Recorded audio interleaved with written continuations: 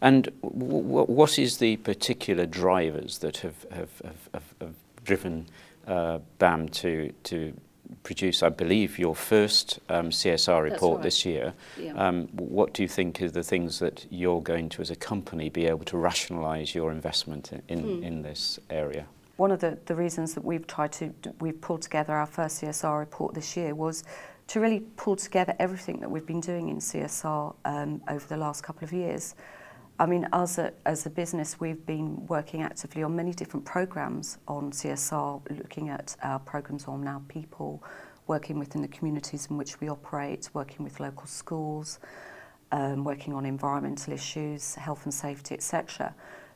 But uh, this is the first time we've really pulled together in one place what CSR means for us as a business. And I think there's lots of very good reasons why CSR is important for us as a business.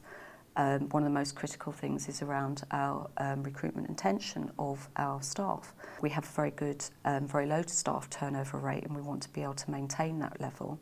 So, um, and we also want to be able to recruit, um, to continue to recruit a talented and diverse workforce because that helps us to maintain the success of the business going forwards. So it's important for us to be able to understand what the issues are of importance for our employees, so issues around learning and development, having a safe and healthy workplace. It's also very important for, for our clients. Um, there is a lot of um, pressure coming down from government, um, particularly down through the public sector, who are asking us about, um, well, what are we doing on sustainability? You know, can we achieve BRIAM excellent in terms of the buildings we're designing and developing? you know, how can we, you know, what added value can we support in terms of the skills and education agenda? You know, how we can support can we support social regeneration issues within the local communities where we're working. So it's the whole kind of building trust within the local communities, which is very important. But Karen, what, what's in it for BAM? Um, surely there must be something that you gain. Um, is, is it good business, for instance?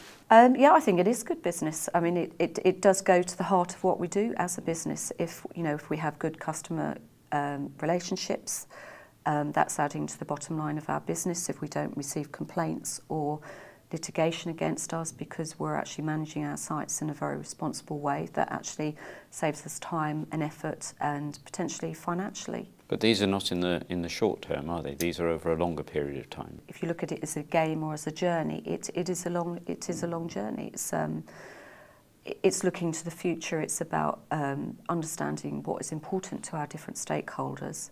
So, there's a sort of responsibility for yes, um, being a responsible company mm. and, and seeing that, that you, you're working in a way which people actually appreciate, and mm. as well as any financial gains that you get back.